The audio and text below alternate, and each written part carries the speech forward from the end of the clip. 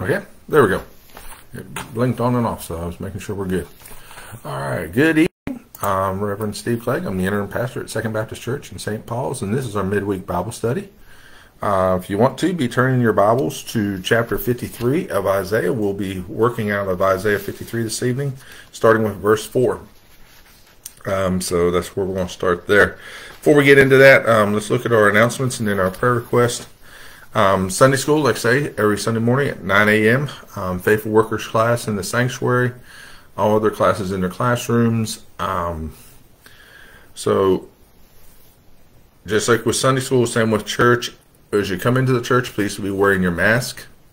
When you get to your seat, um, then you can take and remove your mask and um, be where you're at. Unless you're not vaccinated, then we're asking that you keep your mask on. Um, like I say, we're still trying to protect everybody from it. We not only have COVID going on, but we also have the flu bug going around along with a few others. I'm getting a flashing, and I'm just trying to see if I can get stop flashing. I think I got it. All right. Um, so, like I say, we got that going on. Um, then, month of February, we're collecting hats, gloves, scarves um, for the Christmas shoe boxes. Um, so, like I say, we have that going on. Boxes in the hallway, and then also remember the Methodist Church um, food pantry as we continue to support that. Um, way of birthdays and anniversaries. Um, February 26th is my birthday. Um, so they put that in there just let you know I'm getting a little older, and that's fine. Um, then, like I say, we had a newlywed couple, um, Jack and Mabel Gray. Happy 62nd anniversary. Um, like I say, wonderful um, they've been blessed to have 62 years of marriage, so like I say. And that is on the 20th, so that was just this past Sunday. So we wish them a happy birthday. Or a happy anniversary, excuse me. Sorry about that. All right, um, prayer list. Um, Joe and Marion Edwards, continue member Joe. Um, trying to get his um, weight up and um, need to get nutrition in him. Um, so we're praying that he'll have the desire to eat and that he'll start gaining weight and everything. Um, then Ronnie Locklear, Donna and Jordan Floyd, Louise McLean, Mike and Teresa Ivy, Shirley and Hammonds, Danielle Smith, Kenny Jackson, Pearl Jackson, Angie Baxley, Gina White, Carol Powers, Tom Marie Taylor, Jada Clayton, Ashley Baxley, Kim Hewitt, Richard Holbrook, um, Karen Clegg, um, David Warren, Matthew Ward, Kathy Beanie, Michael Davis, Beth Ward, Mac McMorrow, um, Joe Pate, Van Garganus, Diane Townsend, continue remember Miss Diane, um, having some tough times.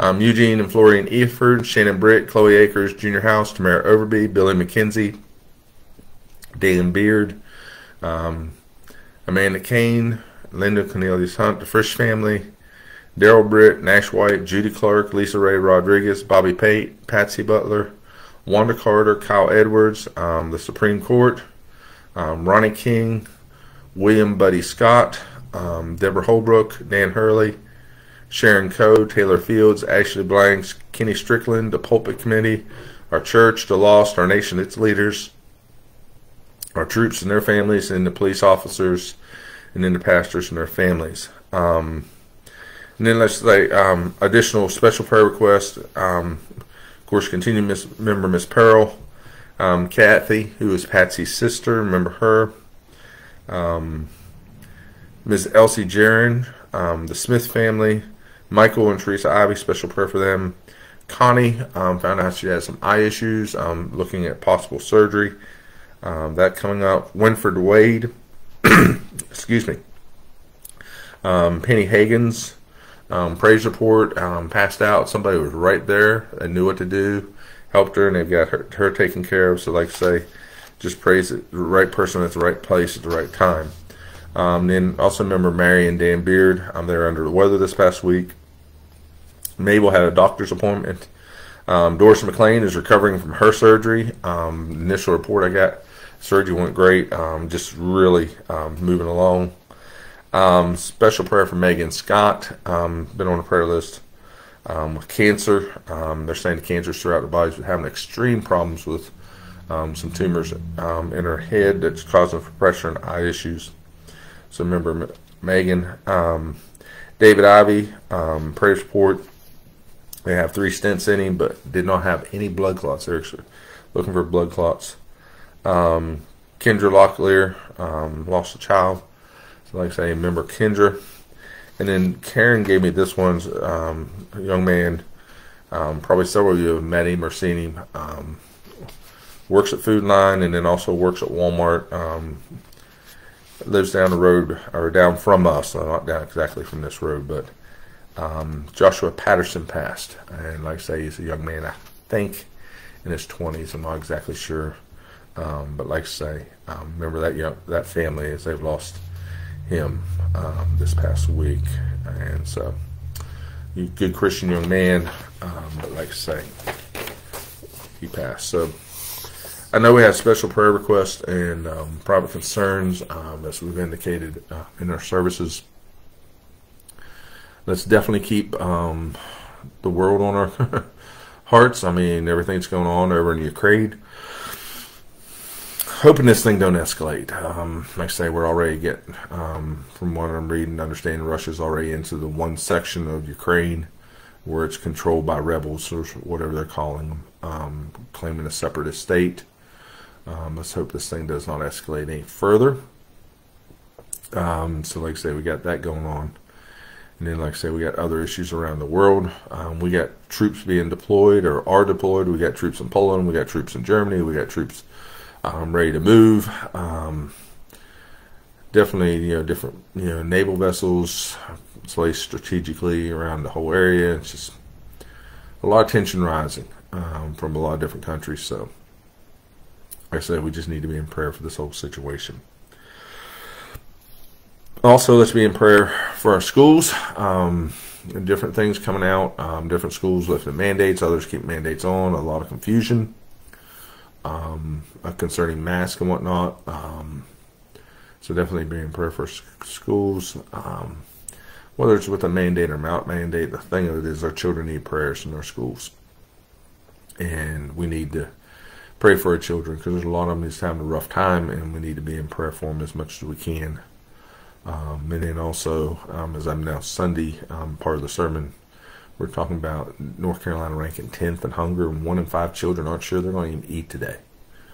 Um, so, you know, it's a major issue. And we know, and living in Robeson County, Robeson County we're impoverished county, um, that number may be even higher. So, like I say, need to be in prayer for our children. Um, pray for our leaders. Um, like I said, there's just a lot going on, and we just need to be in prayer for it. So, with that, let's go to the Lord in prayer. Our gracious Heavenly Father, Lord, we thank you. Father, there's a lot going on in the world today. There is every day, but it seems like today the tensions are rose. In the country, impairing, impeding upon another, whatever the proper word is here, Lord. And Father, we're just praying for peace. We do not want to see a war escalate and just take root in Europe. Father, we want peace to reside, and we don't want to see innocent people hurt, and already people are being displaced and evacuated, and already things going on over there. And Father, we just pray that somehow we can come to a peaceful resolution that no one gets hurt and things are done. And Father, we just pray your blessings upon that area. And Father, we pray your blessings upon the militaries. Young men deployed from all countries, and you know we we think about our own country, but all over Europe and Asia and all troops are deployed, and young men and women now, Lord, that are in harm's way, and they're going to be used as pawns in a game of a bigger game of chess.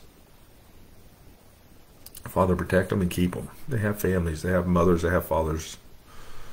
Lord. And Father, we just pray that you bless them and keep them, no matter what country they're from. Keep them safe, Lord. And we pray this thing de escalates. And Father, we pray for our nation. We pray for our leaders from the top to the bottom that we make the right decision for all leaders, Lord. A lot of times we don't think about praying for other leaders of other nations, but they're all there by your appointment. And Father, we understand that from the scriptures that we used and studied Sunday. And Father, they're there, and they're there because you put them there. And Father, we just pray for each and every one of them, Lord, that they'll do your will and heed you and seek your wisdom. Excuse me. And Father, we pray. We pray for the salvation of our nation. The healing of the land, Lord, begins in the hearts and the souls of the men and women and children in this nation. And Father, we pray for the salvation of each and every one. Father, may they hear your call. May they hear the your voice, Lord. May they feel the tugging at their heart as you move them and, Father, convict them. Father, bless them and draw them near, Lord. That they'll call on you. That we can be a Christian nation. And Father, we pray that it spreads throughout the world, and not to be selfish, but we want it to spread around the world the greatness of you, Lord. And that people will be saved. For you pray that none be lost. And Father, we pray for the salvation of our leaders from top to bottom and all those that hold offices, Lord. We're talking judges and all the other advisors and all those. It's not just elected officials, but they all need Jesus. They all need your wisdom and understanding. Father, bless them. And Father, we pray for our prayer list. Father, we have many in your our prayer list that need your healing touch, that need your strengthening to their bodies, Lord.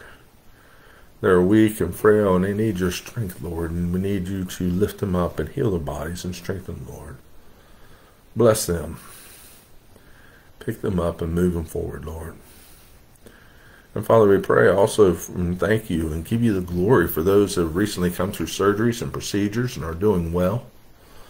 Father, many are astounding us with how just successful things are. We, you know, we think about surgeries and the recoveries, but Lord, you've just shown so much of your hand and how wonderful you are in the healing business, Lord. And it's just a wonderful thing to see.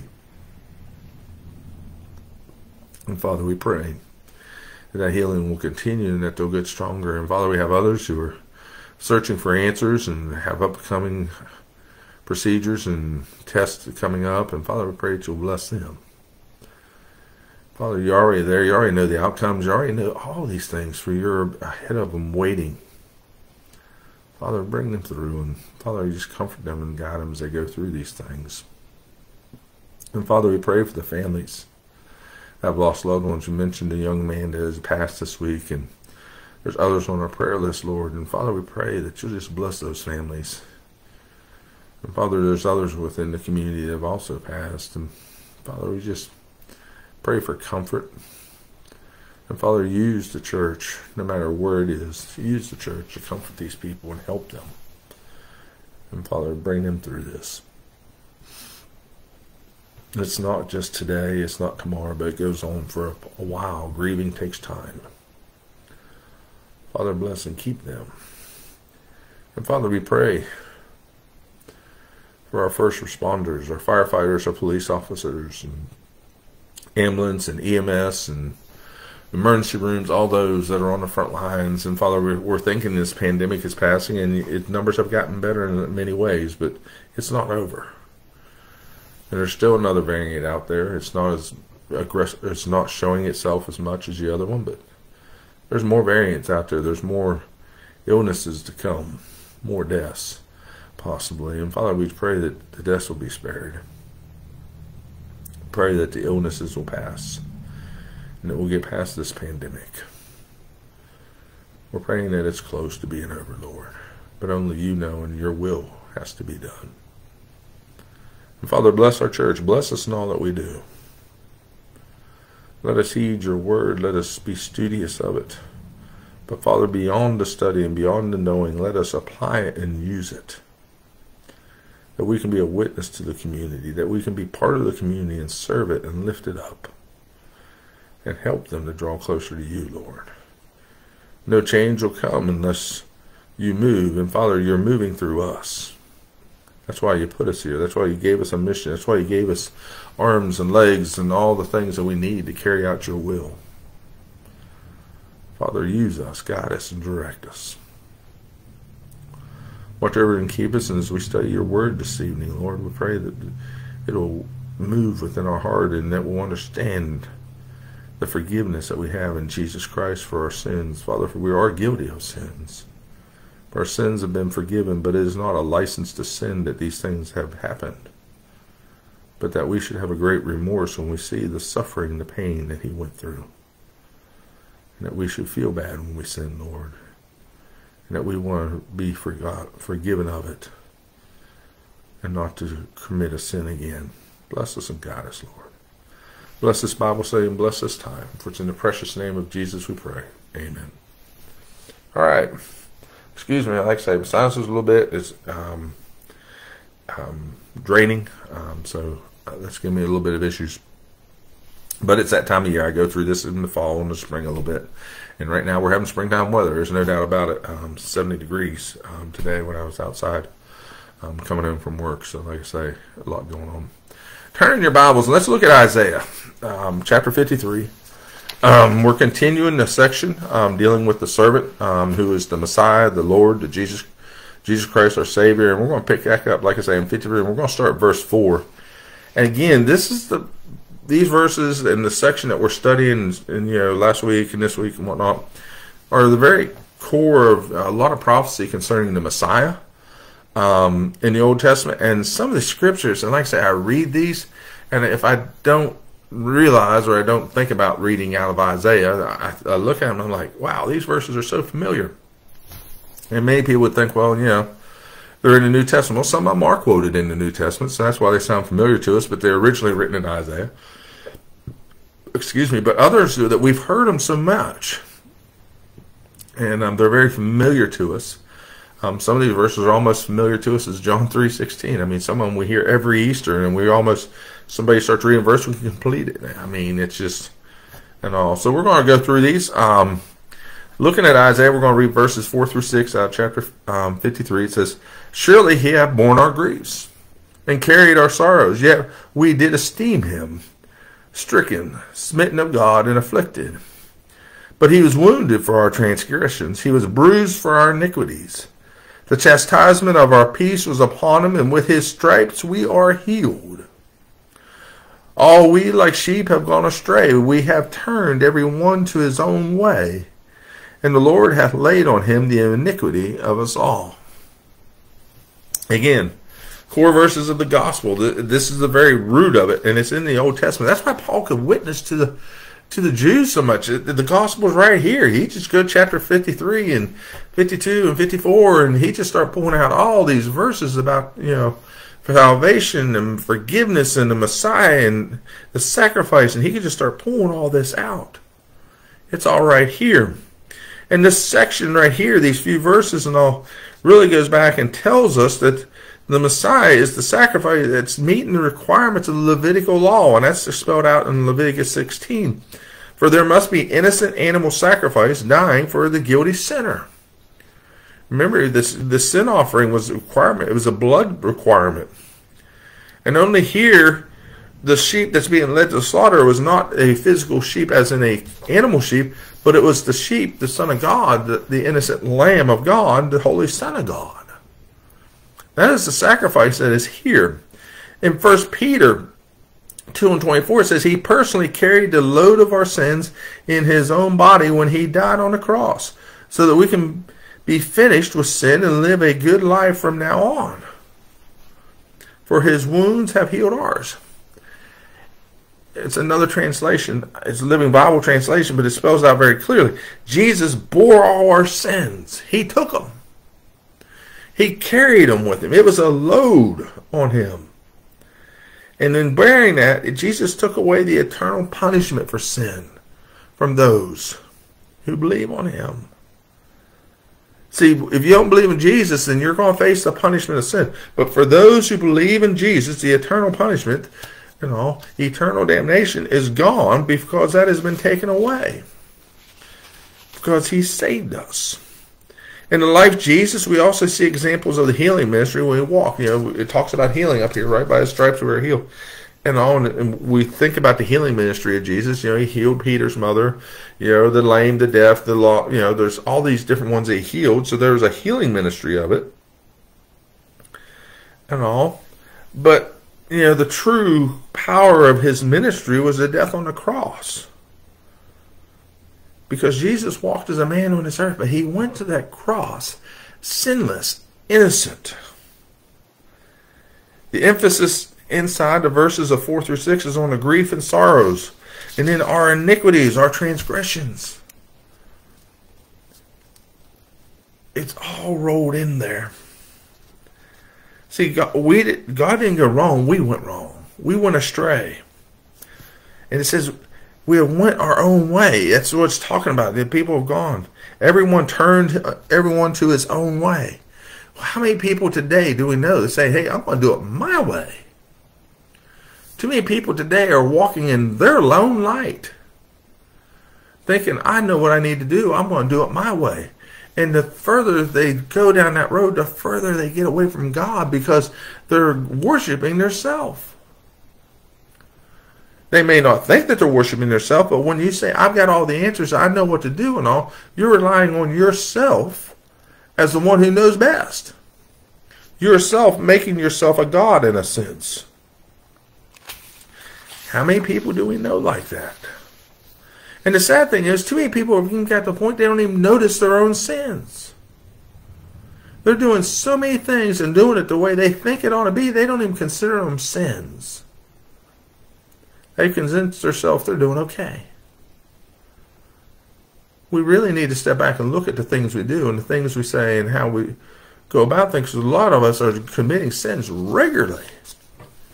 But we're thinking it's okay because everybody else does it. You know, it's no big deal. It don't stand out. We just blend in. But a sin's a sin. It says that he was wounded, which means pierced through. His hands, his feet, remember, were pierced by the nails. His side by a spear. He was crucified. Now, crucifixion was not the Jewish way of capital punishment. That was not the Jewish method. The capital punishment in the Jewish law was stoning. They would beat you with a, they would throw stones until they killed you. That was the way Jews did capital punishment. No, this is a Roman practice. This is another culture's practice of capital punishment. So the very fact that it's in prophecy, and all, and as you go back and you study and read through different things, it really points out that God knew who was going to be in control and who would be killing his son as part of the sacrifice. And now the Jews, like I say, stoning was their way, and if they wanted to further humiliate a victim, what they would do is leave the corpse exposed publicly. Jesus died on that cross publicly. He died on that cross. He was humiliated. He was there for everybody to see him die. Basically stripped naked of his clothes, barely covered, if any. Remember, they took his robe and they cast lots for it and separated it. He was humiliated before all and dying before all in public. On the cross, Jesus was bruised, which means crushed under the weight of a burden. Now, we, we don't think much about this, but we have to put it in perspective. You know, what was the burden? Well, the Lord hath laid on him the iniquity of us all. And that's in Isaiah 53. And six, sin is indeed a burden. A lot of us don't think of sin of a burden, but I will tell you it is a burden. If it doesn't burden you, then you need to really look at yourself. That if you can sin and not feel the burden of it. Sin is indeed, it grows heavier the longer we resist God. The more that we resist God, you read Psalms 38 about that. You know, have you ever had an unsettled sin in your life? Think about it. A lot of people have unsettled sin in their life and they just bury it under emotions. They just bury it and try to forget about it. But an unsettled, unsettled sin in their life, and upon finally settling it and seeking forgiveness, do you feel the weight removed? You ever felt it, the weight of sin just lifted up off of you? A lot of us don't think that way, but when we let sin get into us and fester, it's a disease. And it can cause you a lot of problems. An unsettled sin in your life can cause you a lot of problems. As result, it can cause us emotional pain from stress and guilt. It can affect us with depression if not resolved and left un, you know, unresolved long enough. It can even affect our bodies, causing physical illness. And when your body is under stress, when your body is under pressure, it can become physically ill. Sin can do that. It's not just a spiritual thing that affects you, but it can affect you in the physical and the emotional state as well. So if you have unresolved sins in your life, you know, you have a burden that you're bearing unnecessarily. You need to seek re- seek resolution to it. You need to seek that forgiveness and get it out because it's bearing you down. It's holding you down. And Satan wants you to be held down. So he wants you, oh, you, you can't be forgiven of that sin. You can't, you know, get out from under that. No, that's what Satan's going to tell you. But Jesus says, bring it to me. I'll forgive you because on that cross he bore all the sins. Imagine all the sin of the world bearing down upon him. The burden that he carried to that cross. It goes on and it talks about he was chastised and given many stripes, and yet that punishment brought us peace and healing. The only way a lawmaker can be at peace with the law is to suffer the punishment the law demands. A lot of people don't like it that way and they don't think about it. But if you break the law, you can look at this in several different ways. If you break the law, do you ever feel guilty about it? You ever be going down the road and you look down and you realize, oh man, I'm speeding. And you look back in the mirror to see if anybody sees, see if there's a police officer coming up behind you or something. You're all of a sudden like, oh, you know. Now some people don't bother them.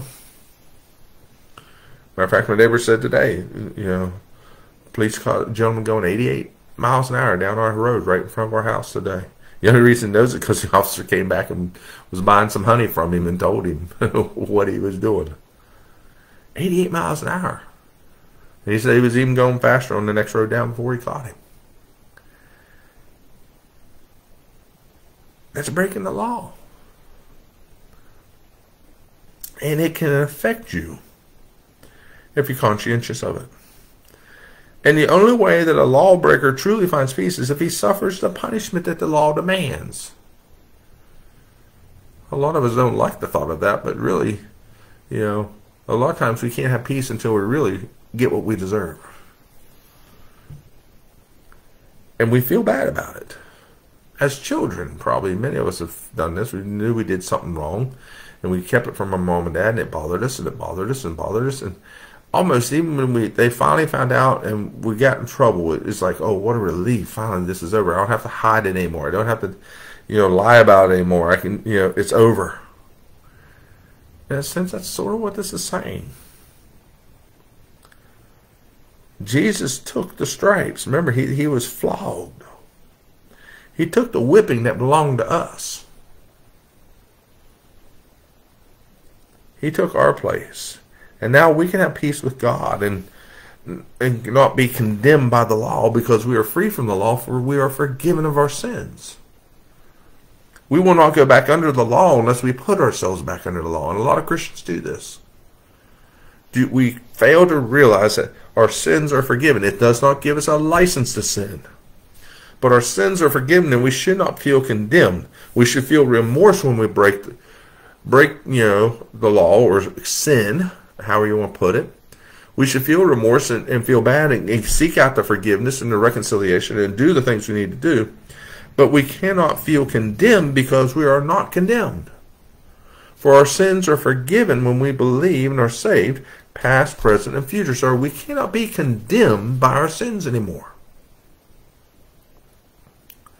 But we can feel guilt. And we can feel the burden of sin when we let it fester and dig within us, when we don't seek out forgiveness. We feel the consequences of sin, absolutely. But we will not be condemned to eternal damnation because of our sin, because we already are saved. We'll answer for that sin, and we should seek to make it right. But we will not be condemned again. We've once condemned, that's it. And now that that's removed, and a lot of Christians allow themselves to feel condemned again. And Satan uses it and hampers them, and they're worthless to the kingdom of God because they're so wor- they're wallowing in sin that's really not, already been forgiven, but they just not accepting it.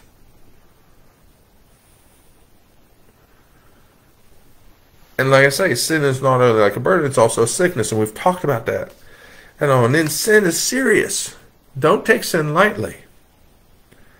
The prophet calls it transgression, which means rebellion against God. Get that? Sin is transgression, which is rebellion against God. Daring to cross the line that God's drawn. That's what it's talking about. Now, one of the things I was taught early on, and one of the truest definitions of sin that I was taught, is rebellion against God. It is not simply breaking one of the rules written down in the Bible, the Ten Commandments or whatnot. That's not true. There's a sins, but that is not. There is sin is broader than that. And a lot of people, you know, they'll say, well, that's not written in the Bible. It's not a sin. They get very legalistic. And remember what happens when we become legalistic? We become like the Pharisees and we miss the message and we miss God's forgiveness and we become legalism. And when we go that, we are so far off base and getting further. No, the rebellion against God comes from many forms than just the rules listed as many people try to put it. If God calls you to the ministry, and you say no, you've just sinned. Because you rebelled against God's will. If God puts people in front of you to witness to, and you refuse to witness to them, you've just sinned. Because God's will is that you did that and you rebelled against God. You told him no. A lot of people don't look at that as sin, but it is. It's called sins of omission by not doing it. But it's rebellion just the same when you refuse to do what God asked you to do. I can list all kinds of examples, and you can agree with me or not agree with me, but put it in this terms. If you tell a child to do something as a parent, and that child tells you no, what is that child doing? The child's rebelling you would call that child a rebellious child. In the Bible, it would get so bad. If you had a rebellious child, you could take them before the leaders at the gate of the city and explain to them what's going on, and they would decide if it was sufficient enough. And if it was sufficient enough, they would take the child out and stone it. Or stone them, not it, excuse me. A rebellious child could be stoned. How many of us deserve to be stoned because we're so rebellious to God our Father? He's telling us to do things and leading us to do things, and we stand up and say, No, I'm not doing it. I'm not going to tell people about you. I'm not going to go and do that to help somebody. I'm not going to, I'm not going to, and that's what we say because we're not comfortable with it. It makes us get out of our box, and we don't do it.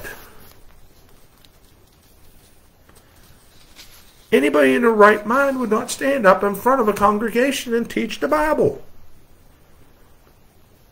He said, well, some people are called to it. Exactly. And trust me, I know what it is to push against God when He calls you to do something. I've done it. And I learned I didn't want to do it again. When God calls you to do something, tells you to do it, don't fight Him because it's going to get worse. Until the point that you become so rebellious, God says, fine. And he leaves you in your ways. Then where are you at? You're not listening to God, so how can he help you? You've pushed him away some more much. You've stuck your fingers in your ear saying, I'm not listening to you. How can you hear God? How can God help you if you're rebelling and pushing him away constantly? And that's exactly what happens to a lot of people. They're getting so bound in their sin, and that's what's happening to so many churches and so many people, and why the church is ineffective because too many people are rebelling against God. If they weren't, churches would be a different place. Isaiah also calls sin iniquity, which refers to the, crooked, the crookedness of our sinful nature. In other words, we are sinners by choice and by nature. Like sheep, we are born with the nature that prompts us to go astray. Sheep, you know, like sheep, we foolishly decide to go our own way. Why do you think they had to have shepherds? Because sheep would wander off. There's a natural tendency to stay in a group, but some of them, they just wander off. How many Christians have just wandered off from the flock? How many Christians have just wandered off and said, I'm going to go my own way and do my thing?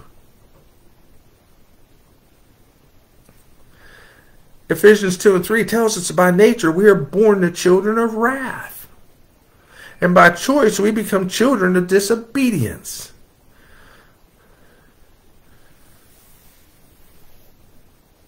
Look at how we are. Our nature is contrary to God because of sin.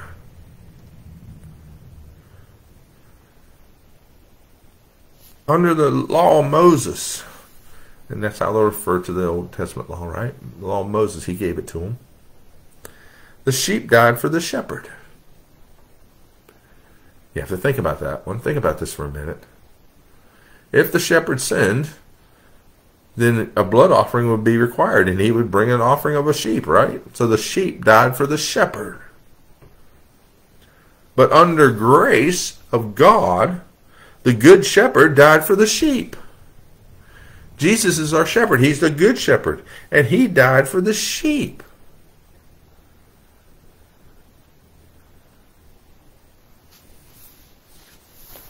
All right, let's move on. I'm going to get hung up and I'll stay there too long. Next set of verses, verses 7 through 9, it says, He was oppressed and he was afflicted, yet he opened not his mouth. He is brought as a lamb to the slaughter, and as a sheep before his her shears is dumb, so he openeth not his mouth. He was taken from prison and from judgment, and who shall declare this his generation? For he was cut off out of the land of the living, for the transgressions of my people was he stricken. And he made his grave with the wicked and the rich in his death, because he had done no violence, neither was any deceit in his mouth. Now, take back and look at it. Think about the crucifixion. Think about the events leading up to it. Think about what happened and all this, and start seeing the image here, right? The servant is not permitted to talk back. A servant is not allowed to talk back to the masters. If a servant talked back to their master, what would happen to them? They could be punished. They could be killed. It'd be up to the master or what the punishment was. He or she must submit to the will of the master or the mistress. Jesus was silent before his accusers. He did not lift up his voice in his own defense. He remained silent. He was silent before Caiaphas, the chief priest and the elders, Pilate, and all Herod Antipas. He did not speak when the soldiers mocked him and beat him. He kept silent. It is this when the Ethiopian treasurer reads Isaiah over in Acts 8 and 26, is this silence that is impressed by it. It's like, why? Isaiah 53 and 7 speaks of his silence under suffering. How many of us can be silent when we're suffering? He was silent when he was illegally tried and condemned to death. There was no fair trial for Jesus. This is, this is what we call a you know, railroad. There was no fair trial. It was not done the way it was supposed to be done. In today's courts, a person can be found guilty of terrible crimes, but it can be proved that something in the trial was illegal, the case just has to be tried again. There was none of that with Jesus' trial. They brought false witnesses. They brought people up to say things that were false. Why? Because they wanted him dead. They couldn't stand looking at him. Because if you look at Jesus, you realize how far you are from the mark. How far you are from where you're supposed to be. And that in itself will make you feel guilty and hurt and unworthy. The servant in these verses is compared to a lamb, one that is frequent symbols of the Savior. We see that the lamb, you know, is used repeatedly and throughout the Jewish symbolism and whatnot. And even, even at the Passover, what did they do? They killed a lamb at the Jewish Passover for each household.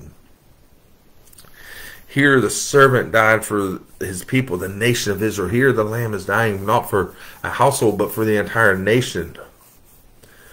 And uh, we also see Jesus referred to the lamb 28 times in the book of Revelation.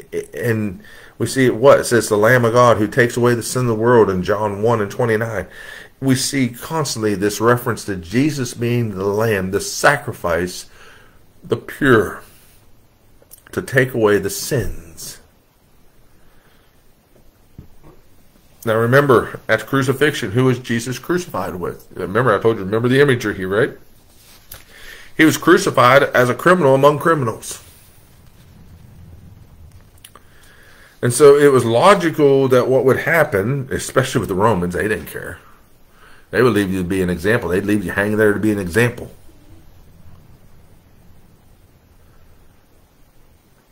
And he took. And so here he is, a criminal among criminals, right? He would have probably been left unburied. Remember the Romans, they lined the roads with the dead of those that were against Rome and against their laws. And they'd leave them hang and rot on the crosses. But here, what happens? He was he was hung among the criminals, so he should have been left, but instead he was buried. And the burial is proof that he actually died, because the Romans weren't going to take you off that cross and you're dead. They were masters of death in life. They knew how far they could push you before they die. And that's why before they took him off the cross, what did they do? They pierced his side with a spear up onto the chest cavity so that what flowed out? Water and blood. The chest cavity under in his death had begun filling up with water around the heart. And that's what they punctured, and that's what came out. Proof that he was dead. Jesus was indeed dead, not asleep as some theorist and all this or some, you know, no. And even, like I say, he was dead. Now, think about where he was buried. The Roman authorities released Jesus' body over to who? Joseph and Nicodemus. They wouldn't have done that unless he was dead. And then, like I say, Joseph of Arimathea was a wealthy man. He would never carved out a tomb so close to a place of execution. So, you know, his was probably home away. He prepared it, Jesus and spices, and yeah, they took him to a tomb nearby, and they buried him in a tomb that was never used. Tombs were not cheap. They were just holes in the ground. These, you know, if it was a carved out tomb, it was it was expensive but he would be buried there. All this, look at this, what happened to Jesus and how that fits the prophecy that we just read. Moving on. Verses 10 through 12. It says, Yet it pleased the Lord to bruise him, he hath put him to grief. When thou shalt make his soul an offering for sin, he shall see his seed. He shall prolong his days, and the pleasure of the Lord shall prosper in his hand. He shall see of the travail of his soul, and shall be satisfied by his knowledge. Shall my righteous servant justify many, for he shall bear their iniquities. Again, we're talking about the righteous servant, who? Jesus Christ. Therefore will I divide him a portion with the great, and he shall divide the spoil with the strong, because he hath poured out his soul unto death, and he was numbered with the transgressors, and he bare sin of many, and made intercession for the transgressors. Again, what are we seeing here? The prophet now explains at the cross from God's point of view. We just looked at it from what we saw and what we studied, and now look at it from God's point of view. Even though Jesus was crucified by hands of wicked men, his death was determined beforehand. This was the plan. This wasn't something that just happened. This was the plan from beforehand. How else would God have prophesied it back in Isaiah unless it was the plan from the start? Jesus was not a martyr, nor was his death an accident. He was God's sacrifice for the sins of the world. Don't let anybody ever try to you know muddle it down and say, well, he you know he was a martyr. No, he was not a martyr. A lot of people say, well, he died a martyr's death. He was not a martyr. He was the sacrifice for the world. The flip to this is it said he did not remain dead. We know he did not remain dead. That's what it talks about. He shall prolong his days. That's what's listed in 53. means that the servant was resurrected to live forever. In his resurrection, he triumphed over every enemy and claimed the spoils of victory. That's what's explained over in Ephesians. Satan offered Christ a glorious kingdom if he would return worship it. You know, that meant bypassing cross. Jesus is obedient to death and God highly exalted him. And what will Jesus have? His kingdom. Jesus will be ruler over all. He will be the King of kings, Lord of lords. That's what is going to be his. Satan offered him something less. Satan's going to always offer you something less than what God can give you. See, he says, I'll give you the world. Jesus, you can't give me the world. I'm going to be the king of kings. I'm going to have it and all. Jesus is going to rule the earth. He's going to have his kingdom on earth, but he's also the king of all. God had something much greater for Jesus. And Jesus wouldn't have to bow down to anybody, especially not Satan, to get it. No, God's plan was for Jesus to rise up and to sit on the throne.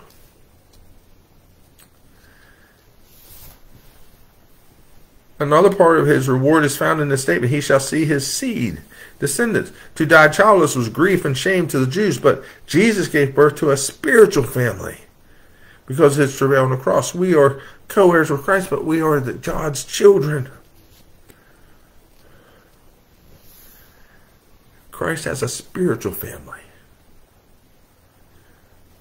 The servant's work on the cross brought satisfaction to God. It satisfied the heart of the Father. He did not want to see it, and it didn't want to see the suffering. But it fulfilled the plan. Jesus talked about, I do always those things that please him. That's in John chapter 8 and 29. He says, I do the things that please my Father. How many of us will say that? I do all things to please my Father, not my earthly Father, but my heavenly Father. Is everything you're doing pleasing to the Father? Obviously, God did not want to see his son suffer. He knew it was painful. He, he understood. He created us. He knows what that pain means. He put the pain sensation in our bodies. God understands what pain is. But he knew it had to go through and be endured. But he also pleased his son's obedience to accomplish it. And then remember what Jesus said. When it was done, he said, It is finished. He knew when the plan was complete. The death of the servant satisfied the law of God. A lot of times we don't tie all that together, but it completed the law. The fancy term that we hear for it is propitiation.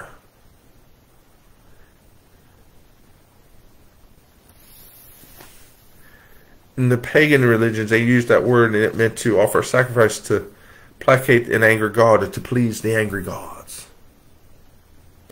But the Christian meaning is much richer. God is angry at sin, not the servant.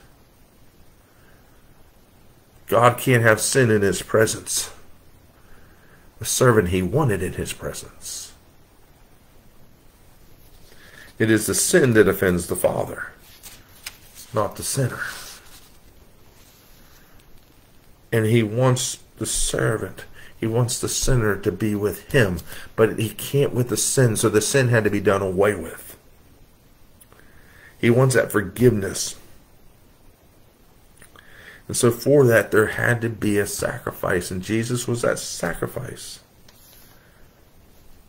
Jesus is going to be the judge right? But in this case the judge took the place of the criminals and uh, he met the demands of the holy law himself as the sacrifice. It says he was numbered with the transgressors. And he even prayed for him. Remember, he said, Today you'll be with me in paradise. He told him he'd be all right.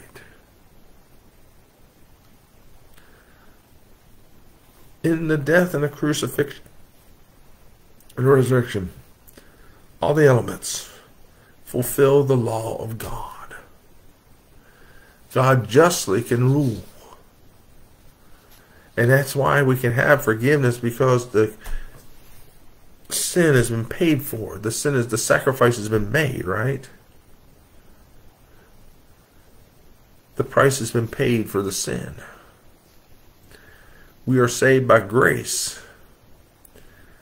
Justice can only condemn the wicked and justify the righteous, but grace justifies the ungodly when they trust Jesus Christ.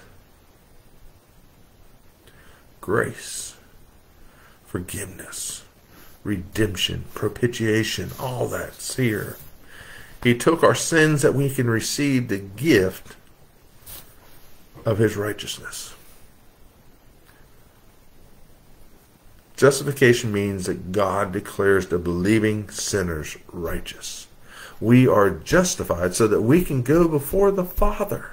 That's why we don't need a mediator. We're in God's eyes we are sinless because Jesus has taken away the sins. We can come before him righteous. Not the righteousness of ourselves, but the righteousness that Jesus put upon us.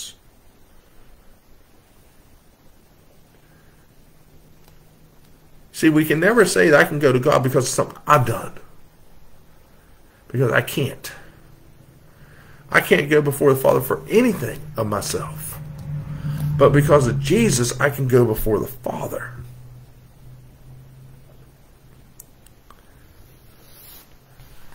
Think about those things. Meditate on.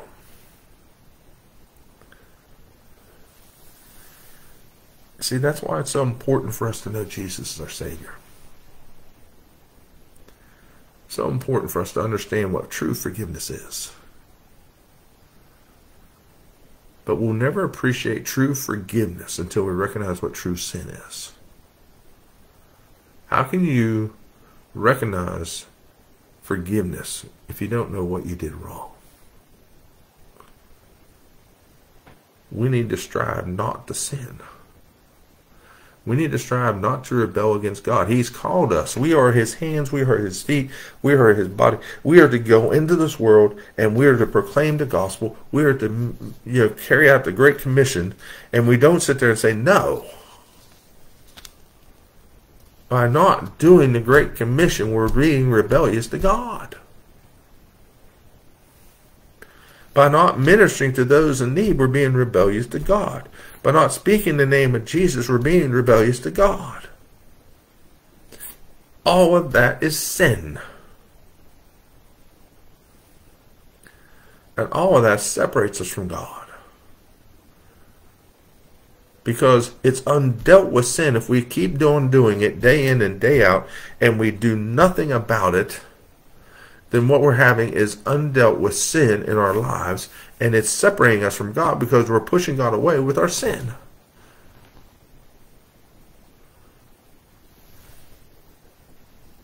We're not being remorseful when we're rebelling against God. We're not saying. That's why the church needs to get up and move individually and as a body to make an impact for Jesus. We can't keep sitting and thinking we're righteous. They don't go together. Let us pray. Our gracious Heavenly Father, Lord, we thank you. And Father, these verses that we're reading and studying all, they're right there at the core of the gospel. And when we sit down and we study the powerful meaning of it, the greatness of what Jesus did when he died on that cross for us, Lord it will impact our lives. When we truly realize what sin is, I pray we feel a great remorse and strive to sin no more. Father, don't give up on us. Keep using us and moving us and putting in front of us those things you'd have us to do. That we'll move forward and do your will and not sin by telling you no. Father, lead us and guide us. Keep us and bring us back together again. And Father, may we increase as we bring others with us and fulfill your will in our daily lives. For it's in the precious name of Jesus we pray. Amen. God bless and have a good night.